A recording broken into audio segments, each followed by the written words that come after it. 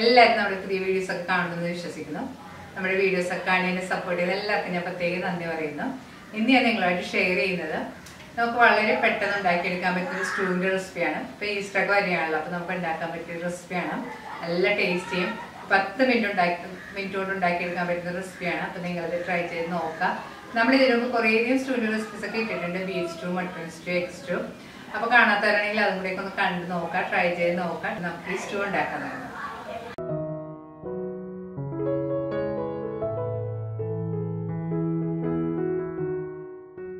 Stew ഉണ്ടാക്കാനായിട്ട് ഞാനിവിടെ എടുത്തിരിക്കുന്നത് അര കിലോ ചിക്കനാണ് അത് കഷ്ണങ്ങളായിട്ട് മുറിച്ചതിന് ശേഷം കഴുകി വെള്ളമെല്ലാം കളഞ്ഞ് വെച്ചതാണിത്. ഇനി ഞാനിതിലേക്ക് ഒരു അഞ്ചല്ലി വെളുത്തുള്ളി നാല് പച്ചമുളക് നീളത്തിൽ കീറിയത് ഒരു ടീസ്പൂൺ ഇഞ്ചി ചെറുതായിട്ട് ചോപ്പ് ചെയ്തതും കൂടെ ചേർത്ത് കൊടുത്തിട്ടുണ്ട്. ഇതിലേക്ക് നമുക്ക് കുറച്ച് സ്പൈസസും കൂടെ ചേർത്ത് കൊടുക്കണം. ഇതൊന്ന് ചതച്ചിട്ട് വേണം ചേർത്ത് കൊടുക്കാനായിട്ട്. ഞാൻ ഇതിനായിട്ട് എടുത്തിരിക്കുന്നത് രണ്ട് ഏലക്ക അഞ്ച് ഗ്രാമ്പു ഒരു ചെറിയ കഷ്ണപ്പട്ട അര ടീസ്പൂൺ കുരുമുളക്. ഈ മസാലകളെല്ലാം കൂടെ പതുക്കെ ഒന്ന് ചതച്ചെടുക്കണം. കൂടുതൽ പൊടിഞ്ഞു പോകരുത്. ഈ ചതച്ചെടുത്ത മസാലയും കൂടി ചിക്കനിലേക്ക് ഇട്ട് കൊടുക്കാം. ഇതിലേക്ക് പാകത്തിനുള്ള ഉപ്പുപൊടിയും കൂടി ചേർത്ത് കൊടുക്കണം. അതിനുശേഷം കൈകൊണ്ട് നന്നായിട്ട് മിക്സ് ചെയ്ത് യോജിപ്പിക്കണം. ഞാനിവിടെ ഉപ്പുപൊടി ചേർക്കുന്ന സമയത്ത് ക്യാമറ ഓൺ ചെയ്യാൻ മറന്നുപോയതുകൊണ്ട് ആ ഭാഗം വീഡിയോയിൽ വന്നിട്ടില്ല. അപ്പോൾ മസാല എല്ലാം ചേർക്കുന്ന സമയത്ത് നമ്മൾ ഉപ്പുപൊടിയും കൂടി ചേർത്ത് കൊടുക്കണം. അതിനുശേഷം നന്നായിട്ട് കൈകൊണ്ട് മിക്സ് ചെയ്ത് യോജിപ്പിക്കണം. ഇനി നമുക്കിത് കുറച്ച് സമയം മാറ്റി വെക്കണം. പറ്റുമെങ്കിൽ മാരിനേറ്റ് ചെയ്തിട്ട് ഒരു മണിക്കൂർ മാറ്റി വെക്കുന്നത് നല്ലതാണ്.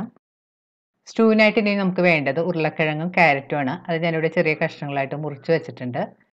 സ്റ്റൂ ഉണ്ടാക്കാനായിട്ട് ഞാനിവിടെ പ്രഷർ കുക്കർ ചൂടാക്കാൻ വെച്ചിട്ടുണ്ട്. കുക്കർ നന്നായിട്ട് ചൂടായി വന്നിട്ടുണ്ട്. ഇതിലേക്ക് നമുക്ക് ആവശ്യത്തിന് ഓയിൽ ഒഴിച്ചു കൊടുക്കാം. ഓയിൽ നിങ്ങൾക്ക് ഇഷ്ടമുള്ള ഓയിൽ ഏതാ വേണമെങ്കിലും ഉപയോഗിക്കാം. വെളിച്ചെണ്ണയോ വെജിറ്റബിൾ ഓയിലോ വേണമെങ്കിലും ഉപയോഗിക്കാം. വെളിച്ചെണ്ണയിൽ ചെയ്യുന്നതാണ് എനിക്ക് കൂടുതൽ ടേസ്റ്റ് ആയിട്ട് തോന്നിയിട്ടുള്ളത്. എണ്ണ നല്ലതുപോലെ ചൂടായിരുമ്പോൾ നമുക്ക് ഇതിലേക്ക് കുറച്ച് സ്പൈസസ് ഇട്ട് പൊട്ടിക്കണം. വളരെ കുറച്ച് ചേർത്താൽ മതി. നമ്മൾ ചിക്കൻ മാരിനേറ്റ് ചെയ്തപ്പോൾ ചേർത്തിട്ടുള്ളതാണ്. ഞാനിവിടെ ഒരു ഏലക്ക ഒരു ചെറിയ കഷ്ണം പട്ട രണ്ട് ഗ്രാമ്പുമാണ് ചേർത്തിരിക്കുന്നത്. സ്പൈസസ് ഒക്കെ ഒന്ന് നന്നായിട്ട് പൊട്ടി വരുമ്പോൾ ഇതിലേക്ക് ഒരു തണ്ട് കറിവേപ്പില ചേർത്ത് നന്നായിട്ട് മൂപ്പിക്കണം. ഇനി ഇതിലേക്ക് ഒരു മീഡിയം സവാള കനം കുറച്ച് നീളത്തിൽ അരിഞ്ഞതും രണ്ട് പച്ചമുളക് നീളത്തിൽ കീറിയതും ചേർത്ത് നന്നായിട്ട് വഴറ്റി കൊടുക്കാം.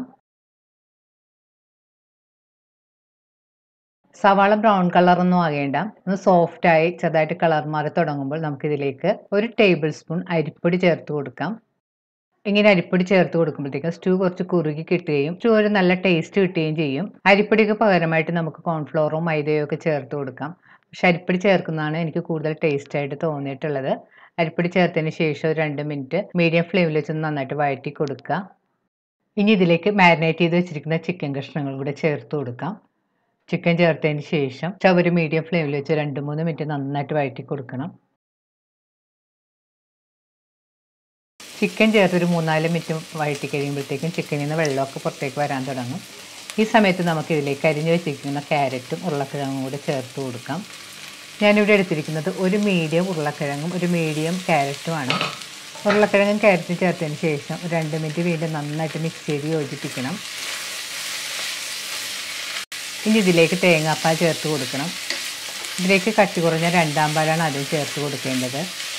ഞാൻ തേങ്ങ മിക്സിയിലിട്ട് അടിച്ചതിന് ശേഷം ആദ്യത്തെ ഒന്നാം പാൽ ഒരു കപ്പ് മാറ്റി വെച്ചിട്ടുണ്ട്. രണ്ടാമത് പിഴിഞ്ഞെടുക്കുന്ന ഒന്നര കപ്പ് തേങ്ങാപ്പാലാണ് നമ്മളിപ്പോൾ ചേർത്ത് കൊടുക്കേണ്ടത്. ഇപ്പോൾ ഫ്രഷ് തേങ്ങാപ്പാലൊക്കെ എടുക്കാൻ ബുദ്ധിമുട്ടാണെങ്കിൽ നമുക്ക് ടിന്നിൽ കിട്ടുന്ന കോക്കനട്ട് മിൽക്കോ അല്ലെങ്കിൽ കോക്കനട്ട് പൗഡറോ ഒക്കെ കലക്കി വേണമെങ്കിൽ ചേർത്ത് കൊടുക്കാം. ഇപ്പോൾ ഇതിലേക്ക് ഒന്നര കപ്പ് രണ്ടാം പാൽ ഞാൻ ഒഴിച്ചു കൊടുത്തിട്ടുണ്ട്. പാൽ ചേർത്തതിന് ശേഷം നന്നായിട്ട് മിക്സ് ചെയ്ത് യോജിപ്പിക്കാം. ചിക്കൻ മാരിനേറ്റ് ചെയ്ത് വെച്ചപ്പോൾ ഉപ്പ് ചേർത്തിട്ടുള്ളതാണ്. അപ്പോൾ ടേസ്റ്റ് ചെയ്ത് നോക്കിയിട്ട് ഉപ്പ് കുറവാണെങ്കിൽ വേണമെങ്കിൽ ഉപ്പൊക്കെ ചേർത്ത് കൊടുക്കാം. ഇനി നമുക്ക് കുക്കർ മൂടി ചിക്കൻ ഒന്ന് വേവിച്ചെടുക്കാം. ചിക്കന് വേവ് കുറവായതുകൊണ്ട് നമ്മൾ കൂടുതൽ സമയമൊന്നും കുക്ക് ചെയ്യേണ്ട ആവശ്യമില്ല. രണ്ട് വിസിൽ വരുമ്പോഴത്തേക്ക് നമുക്ക് സ്റ്റവ് ഓഫ് ചെയ്ത് സ്റ്റീം പോകാനായിട്ട് മാറ്റി വെക്കണം. സ്റ്റവ് ഓഫ് ചെയ്തിട്ടിട്ട് കുക്കറിന്റെ സ്റ്റീമെല്ലാം പോയിട്ടുണ്ട്. അപ്പോൾ നമുക്ക് തുറന്ന് നോക്കാം. ഇതൊന്ന് നന്നായിട്ട് മിക്സ് ചെയ്ത് കൊടുക്കണം. ഇപ്പോൾ ചിക്കനും ഉരുളക്കിഴങ്ങും ക്യാരറ്റൊക്കെ നല്ല പാകത്തിന് വെന്ത് വന്നിട്ടുണ്ട്. വീണ്ടും സ്റ്റവ് ഓൺ ചെയ്തതിന് ശേഷം സ്റ്റൂ ഒന്ന് നന്നായിട്ട് തിളച്ച് ഒന്ന് ചെറുതായിട്ട് കുറുകാൻ അനുവദിക്കണം.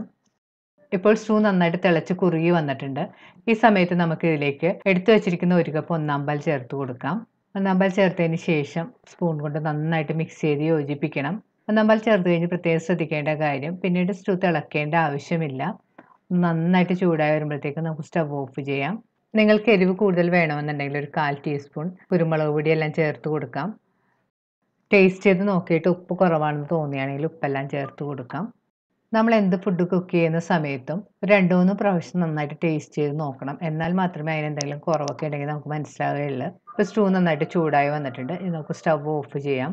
നമുക്ക് വേണമെങ്കിൽ മല്ലിയിലേക്ക് അരിഞ്ഞത് ചേർക്കാം. പക്ഷേ ഞാനെല്ലാം ചേർത്തിട്ടില്ല. ഇപ്പോൾ വളരെ പെട്ടെന്ന് ഉണ്ടാക്കിയെടുക്കാൻ പറ്റുന്ന നല്ല ടേസ്റ്റിയായ നമ്മുടെ സ്റ്റൂ റെഡി ആയിട്ടുണ്ട്. അപ്പോൾ ഈസ്റ്ററിനൊക്കെ നിങ്ങളിതൊന്ന് ട്രൈ ചെയ്ത് നോക്കുക. വീണ്ടും ഇതുപോലെ നല്ല റെസിപ്പി ആയിട്ട് നമുക്ക് കാണാം. താങ്ക്